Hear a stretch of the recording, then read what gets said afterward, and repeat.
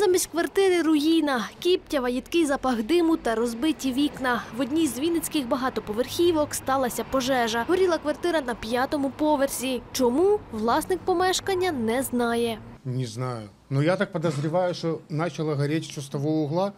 Там кровать стояла, она полностью сгорела.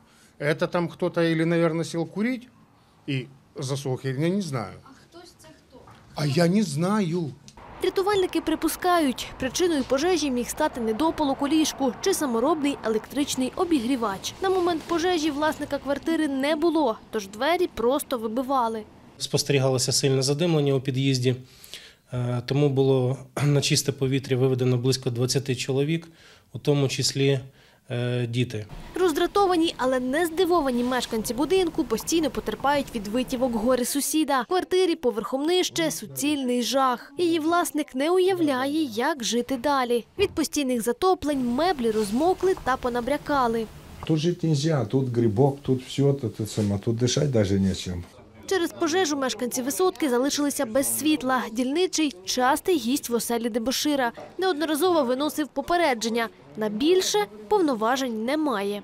Мешканці даного будинку зверталися до мене з заявами, скаргами, що в даній квартирі проживає особа, яка веде аморальний спосіб життя, приводить до себе додому, запрошує підозрілих невідомих осіб, також які ведуть аморальний спосіб життя, або в яких нема де проживати.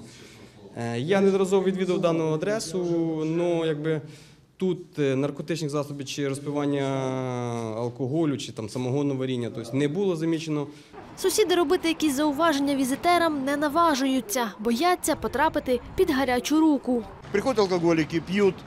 Э, Ну, так скажем, деб- дебоширить они не дебоширят, не шумят очень сильно громко, но пе- периодически бывает. Их э, человек 6-8 там, э, вот, они приходят, э, извините, испражняются в лифте, на площадках, вот здесь вот прямо за, это самое, под домом. Я-то не знаю, но ходят.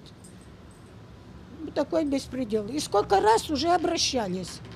И соседи по квартире, и что когда-нибудь взорвет наш дом.